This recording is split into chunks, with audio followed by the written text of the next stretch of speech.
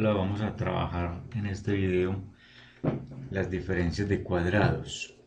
Entonces vamos a comenzar mirando qué ocurre cuando tenemos una expresión como esta.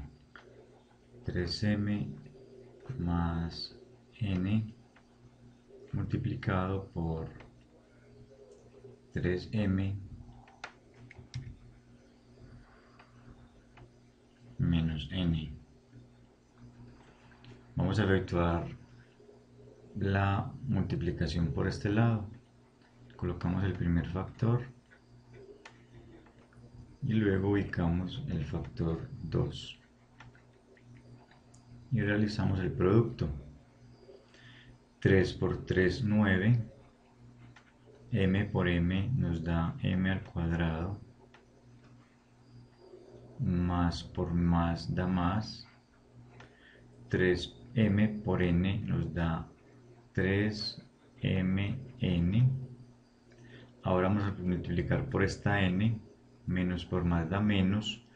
3m por n nos da 3mn negativo. Lo ubicamos debajo de los que tienen términos semejantes. Menos por más da menos. n por n, n al cuadrado como no tiene términos semejantes, se ubica aparte. Ahora vamos a realizar la suma.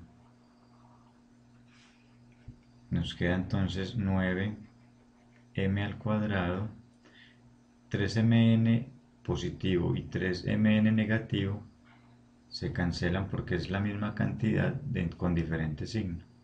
Y tenemos menos n a la 2. Es decir, que esta, este producto es igual a m al cuadrado a 9m al cuadrado menos n al cuadrado. Podemos entonces concluir que cuando tenemos el producto de la suma por la diferencia de dos cantidades, observamos que ambas son las mismas cantidades lo único que cambia entre ellas es el signo más y el signo menos.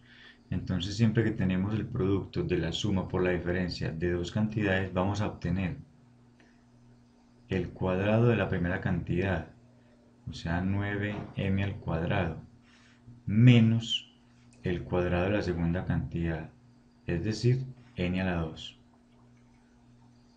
Tomando otros ejemplos, entonces podemos ver 2a menos 3b multiplicado por 2a más 3b, observamos que es el producto de la suma por la diferencia de las mismas cantidades.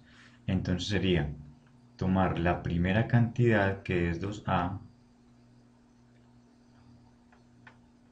la primera cantidad al cuadrado, en este caso sería 2 a la 2 da 4 y a la 2 se eleva también menos, siempre menos, la segunda cantidad al cuadrado, en este caso el cuadrado de 3b es 9b al cuadrado y hemos resuelto por simple inspección este producto. Miremos otro ejemplo. Ejemplos. Tenemos entonces el producto de 5 menos y por 5 más y recordemos, es la primera cantidad que es 5 al cuadrado, en este caso 5 al cuadrado es igual a 25, siempre menos la segunda cantidad que es y, también al cuadrado. Y listo. Vamos con este ejemplo. Primera cantidad es 4x al cuadrado. Al elevarla al cuadrado tenemos 4 al cuadrado, 16. x elevado a 2 elevado al cuadrado nos da x a la 4. Siempre menos. Ahora la segunda cantidad al cuadrado. 3 al cuadrado 9 y y a la 3 al cuadrado nos da y a la 6. Y hemos terminado. También podemos observar cómo se puede hacer el procedimiento inverso. Es decir, nos entregan la diferencia de dos cuadrados y nosotros podemos distribuirla en el producto de la suma por la diferencia de sus raíces. es decir, la raíz cuadrada de 16, 4, y la raíz cuadrada de 4x al cuadrado es 2x. Entonces aquí ponemos a multiplicar, a sumar, perdón, sus raíces y el producto por sus raíces ahora restándose. Entonces volvemos al inicio. Tenemos el producto de la suma por la diferencia de dos cantidades que proviene de la diferencia de dos cuadrados perfectos. De igual manera podemos resolver este ejercicio. Entonces, raíz cuadrada de 100 a la 4 es 10 a, a la 2.